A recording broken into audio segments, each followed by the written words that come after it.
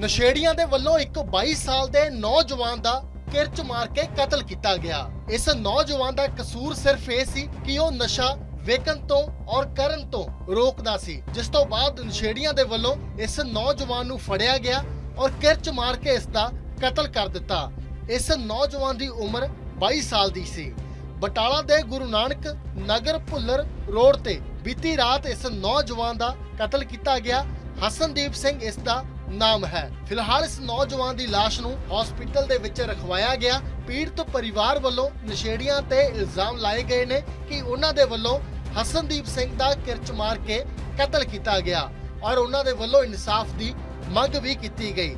ਦੱਸਦੀ ਹੈ ਕਿ ਨਸ਼ਾ ਕਰਨ ਤੋਂ ਔਰ ਵੇਚਣ ਤੋਂ ਇਹ ਨੌਜਵਾਨ 22 ਸਾਲ ਦਾ ਹਸਨਦੀਪ ਸਿੰਘ ਰੋਕਦਾ ਸੀ, ਜੋ ਕਿ ਨਸ਼ੇੜੀਆਂ ਨੂੰ ਮਨਜ਼ੂਰ ਨਾ ਹੋਇਆ। ਉਹਨਾਂ ਨੇ ਕਿਰਚ ਮਾਰ ਕੇ ਇਸ ਨੌਜਵਾਨ ਦਾ ਕਤਲ ਕਰ ਦਿੱਤਾ ਬਟਾਲਾ ਦੇ ਗੁਰੂ ਨਾਨਕ ਨਗਰ ਭੁੱਲਰ ਰੋਡ ਦੀ ਇਹ ਘਟਨਾ ਹੈ। ਪਰਿਵਾਰ ਦੇ ਵੱਲੋਂ ਇਨਸਾਫ ਦੀ ਗੁਹਾਰ ਲਗਾਈ ਗਈ। ਉਹ ਕੱਲ ਕੁੱਤੇ ਰੋਟੀ ਪਾਉਣ ਗਿਆ ਸੀ। ਉੱਥੇ ਅਮਲੀ ਬਹਿੰਦੇ ਉਹਨਾਂ ਨਾਲ ਕੁਝ ਮਾੜਾ ਚੰਗਾ ਆਖਿਆ, ਵੀ ਨਾ ਬਹਿ ਕਰੋ। ਇਸੇ ਗੱਲ ਦੇ ਚੱਕਰ 'ਚ ਪਰਸੋਂ ਦੀ ਗੱਲ ਹੈ, ਰਣਜੀਤ ਸਿੰਘ ਇਹਦੇ ਮਗਰ ਪੈ ਗਏ। ਇਹ ਭੱਜ ਕੇ ਘਰ ਆਇਆ। ਚਲ ਉਹ ਦਿਨ ਲੰਘ ਗਿਆ। ਅਗਲੇ ਦਿਨ ਫਿਰ ਇਹ ਕੁੱਤੇ ਰੋਟੀ ਪਾਉਣ ਗਿਆ। ਜਿਹੜਾ ਬੰਦਾ ਉਦੋਂ ਇਹਦੇ ਮਗਰ ਦਾਤਰ ਲੈ ਕੇ ਪਿਆ ਸੀ ਪਰਸੋਂ, ਉਹ ਫਿਰ ਕੱਲ ਆ ਗਿਆ। ਉਹਨਾਂ ਚਿਰ ਨੂੰ ਅਸੀਂ ਆਖਿਆ, ਸਾਡਾ ਬੇਟਾ ਫਿਰ ਗਿਆ ਸੀ, ਫਿਰ ਮਗਰ ਕੇ ਉਹਨੂੰ ਇਹ ਫੜ ਕੇ ਖਲੋਤਾ ਸੀ। ਗੱਲਾਂ ਹੀ ਕਰਨ ਡੇ ਉਹਨੇ ਫੋਨ ਕਰਕੇ ਉਹਨੇ ਚਿਰ ਨੂੰ ਪੰਜ ਚਾਰ ਹੋਰ ਬੰਦੇ ਹੋਰ ਮੰਗਾ ਲਏ।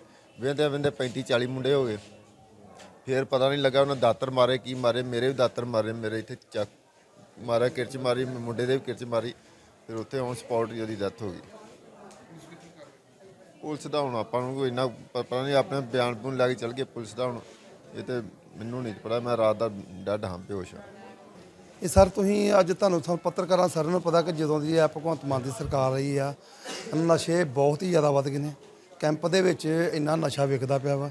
ਕੈਂਪ ਦੇ ਹੀ ਕੁਝ ਗੁੰਡੇ ਨੇ ਜਿਹੜੇ ਸਾਡੇ ਜੀਜਾ ਜੀ ਦੇ ਘਰ ਦੇ ਸਾਹਮਣੇ ਆ ਕੇ ਬਹਿ ਕੇ ਨਸ਼ਾ ਕਰਦੇ ਨੇ। ਤੇ ਉੱਥੇ ਸਾਡੇ ਭਾਂਜਾ ਜੀ ਉਹ ਜਦੋਂ ਬਾਹਰ ਨਿਕਲ ਕੇ ਉਹਨਾਂ ਨੂੰ ਸਮਝਾਉਂਦੇ ਨੇ ਵੀ ਇੱਥੇ ਨਸ਼ਾ ਨਹੀਂ ਕਰਨਾ ਹੈਗਾ। ਤੇ ਉਹ ਉਹਦਾ ਵਿਰੋਧ ਕਰਦੇ ਨੇ। ਉਹ ਉਹਨਾਂ ਦੀ ਇਸੇ ਰੰਜਿਸ਼ 'ਚ ਆ ਕੇ ਸਾਡੇ ਭਾਂਜੇ ਨੂੰ ਜਿਹੜਾ ਕ- ਕਤਲ ਕਰਤਾ ਜੀ।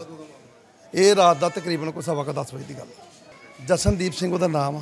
ਸਨ of ਹਾਂਜੀ, ਹਾਂ, ਸੰਦੀਪ ਸਿੰਘ ਉਹਦਾ ਨਾਮ ਆ ਤੇ ਸਨ of ਗੁਰਦੀਪ ਸਿੰਘ। ਤੇ ਇਹ ਹੈਗਾ ਜਿਹੜਾ ਨੀਅਰ ਆਫ ਫਾਟਕ ਜਿਹੜਾ ਗੁਰਦਾਸਪੁਰ ਵਾਲਾ। ਹਾਂਜੀ। ਉਹ ਤੇ ਉਹ ਤੇ ਸਟੱਡੀ ਕਰਦਾ ਪਿਆ ਸੀ, ਉਹਨੇ ਤੇ ਆਪਣਾ ਹੁਣੇ ਹੀ ਆਪਣਾ ਕੋਰਸ ਕੀਤਾ ਵਾ ਸਰ ਹੁਣੇ। ਹਾਂਜੀ ਅਨਮੈਰਿਡਸ ਪਰਿਵਾਰ ਦੇ ਜੀ ਹੈਗੇ ਟੋਟਲ ਤਿੰਨ ਭੈਣ ਭਰਾ ਨੇ ਤੇ ਆਪਣਾ ਦਾਦਾ ਜੀ, ਫਾਦਰ ਸਾਹਿਬ ਤੇ ਸਿਸਟਰ ਸਾਡੇ। ਦੋ ਭਰਾ, ਇੱਕ ਛੋਟਾ ਬੱਚਾ ਉਹ ਦਾ 12 12 13 ਸਾਲ ਦਾ ਜੀ। ਇਹ ਸਰ ਉੱਥੇ ਮੌਕੇ ਤੇ ਜਿਹੜੀ ਪੁਲਿਸ ਦੀ ਵੈਰੀਫਿਕੇਸ਼ਨ ਕਰਵਾਈ ਆ, ਉੱਥੇ ਮੌਕੇ ਤੇ ਇੱਕ ਐਡਾ ਕੁ ਕਿਰਚ ਮਿਲੀ ਆ, ਜਿਹਦੇ ਨਾਲ ਉਹਨਾਂ ਵਾਰਦਾਤ ਕੀਤੀ, ਸਾਡੇ ਜੱਜੇ ਤੇ ਵੀ ਵਾਰ ਕੀਤਾ ਵਾ, ਤੇ ਉਹਨਾਂ ਤੇ ਵੀ ਕੀਤਾ, ਇਹ ਆਪਣੇ ਪਲਾਟ 'ਚ ਖਲੋਤੇ ਹੋਏ ਉੱਥੇ ਮੌਕੇ ਇਹ ਜੀ ਜਸ਼ਨਦੀਪ ਸਿੰਘ ਸੀ ਸਾਡਾ ਆਪਣਾ ਫਾਟਕਾ ਕਾਦੀਆਂ ਦਾ ਫਾਟਕਾ ਮੁੰਡਾ ਚੰਡੀਗੜ੍ਹ ਹੋਟਲ ਮੈਨੇਜਮੈਂਟ ਦਾ ਕ- ਕੰਮ ਕਰਦਾ ਸੀ। ਰੇਲਵੇ ਲਾਈਨ ਦੇ ਲਾਗੇ ਨਾ ਇਹਨਾਂ ਦੀ ਕੋਠੀ ਬਣਦੀ ਪਈ ਹੈ ਘਰ ਬਣਦਾ ਪਿਆ। ਇਹ ਆਪਣੇ ਮਾਂ ਪਿਓ ਮਾਂ ਤੇ ਪਿਓ ਗੁਰਦੀਪ ਸਿੰਘ ਦਾ ਉੱਥੇ ਰਾਤ ਕੁੱਤੇ ਨੂੰ ਨਾ ਰੋਟੀ ਦੇਣ ਗਏ ਸੀ। ਉੱਥੇ ਕੋਈ ਰੇਲਵੇ ਟਰੈਕ ਤੇ ਬੰਦੇ ਬੈਠਦੇ ਸੀ ਇਹਨਾਂ ਦੀ ਅਕਸ- ਅਕਸਰ ਉਹਨਾਂ ਨੂੰ ਕਹਿੰਦਾ ਹੁੰਦਾ ਸੀ ਵੀ ਇੱਥੇ ਨਾ ਬਿਆ ਕਰੋ। ਉਹਨਾਂ ਦੀ ਬਹਿਸ ਹੋਈ ਹੈ ਤੇ ਉਹਨਾਂ ਨੇ ਇਹਨਾਂ ਨੂੰ ਕਿਰਚ ਮਾਰੀ ਹੈ ਤੇ ਮੁੰਡਾ ਤੇ ਮਰ ਗਿਆ ਹਸਪਤਾਲ ਜਾ ਕੇ ਤੇ ਬਾਪ ਉਹਦਾ ਜਿਹੜਾ ਜ਼ਖਮੀ ਹੋ ਗਿਆ ਵਾ।